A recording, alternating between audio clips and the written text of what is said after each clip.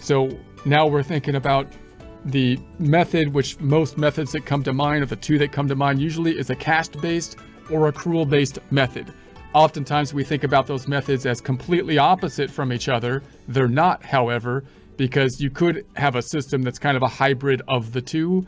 Many small businesses, for example, are going to be on a cash-based system for their expenses because they pay all their expenses with electronic transfers, for example, and you could set up that easily but they might be on an accrual basis basically for the revenue because they're in the type of business where they happen to have to invoice the client for work that was done. And so then the question is, can I can I be in like a hybrid type of method? What kind of accounting method? Maybe there's some method or some accounting trick you could, you know, use. Uh, can I use? Does inventory force me, for example, to use an accrual method versus a cash-based method, which is if you have inventory uh, kind of puts a complexity in terms of your decisions on what method to use sometimes. This one also gets a little get confusing because when we think about taxes in general, we're usually on a cash-based system, right? When we're thinking about our Schedule A items, when can I deduct my property taxes, or when can I deduct my mortgage interest? Usually it's when you paid it. but on the business side of things, normally for large companies, an accrual basis is more accurate than a cash-based system oftentimes, but we might have the option for a cash-based system, which sometimes is easier to, to account for. But it's easier to manipulate a cash-based system as well. So, so that's the pros and cons. We'll dive into that a little bit more later. You can see more about it if you want to go to the publication for chapter two. So what must I do if I disposed of business property during the year? Now, business property, we're not talking about inventory. If you're selling inventory or services or something, that's what happens during the normal course of business. But what if I sold a piece of machinery, a forklift or something like that, business property? What then? Then you've got to deal with the, the that kind of sale transaction of a fixed asset or something like that. And we may look at that later. And if you want to jump to that, you can look at chapter three. What kind of business income do I have to report uh, on my tax return? So obviously, income is basically bad for taxes, right? So the IRS wants to say that you have to report all income unless there's an exception provided by the IRS. So are there any exceptions that we don't have to include in income? And then which kind of things do I have to include in income on the Schedule C versus income possibly elsewhere on the tax return? Are there any benefits to have it reported on the Schedule C versus some somewhere else and so on and so forth? Uh, you can jump to chapter five if you want to read up on that. We might discuss that more later. What kinds of business expense do I deduct on my tax return? This is obviously the big one because we have, in essence, an income statement for the Schedule C. Income is bad for taxes.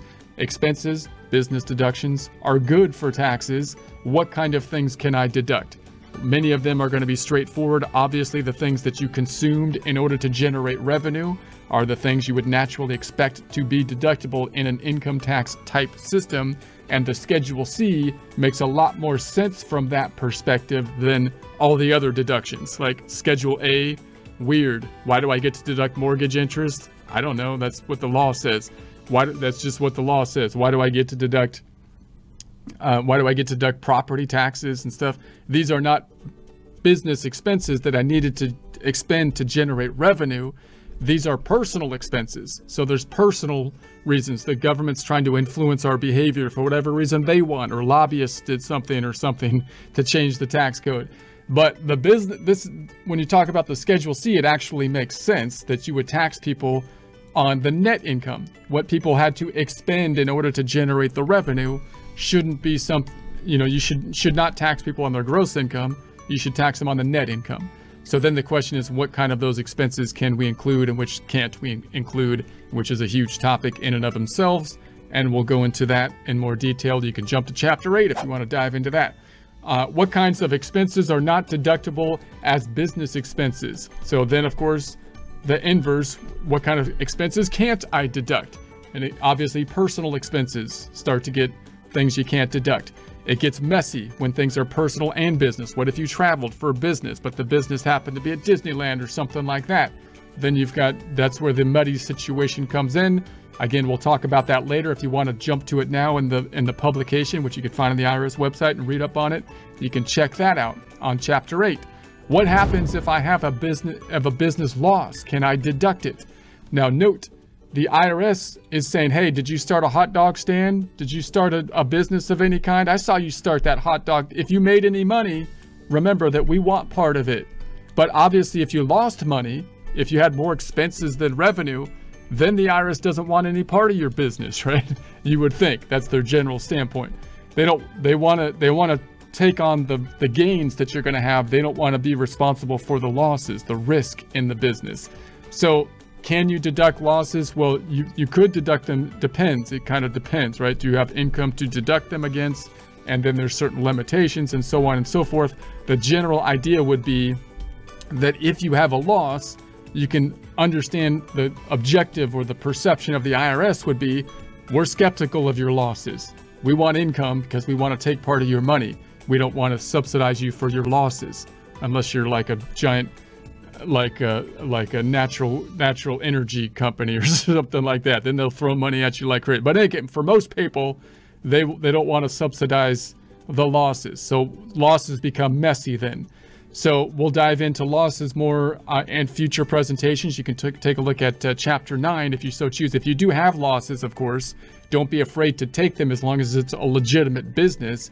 And then and then you do could get benefits from the losses. Many small businesses have losses when they first start, nothing to be ashamed of, but just realize that the IRS might be skeptical of losses uh, and taking the losses. So you want to make sure you have the evidence for it.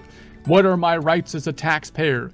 So we're not going to, we may not dive too much into the, into this, this topic in our presentations, but if you want to jump into it in more detail, chapter 11 on the publication, and then where do I go if I uh, need help with, with federal tax matters, I get, you have some more resources that you could take a look at in the publication. We might not dive into it so much on the presentations here, but if you want to take a look at the publication, that's in uh, chapter 12.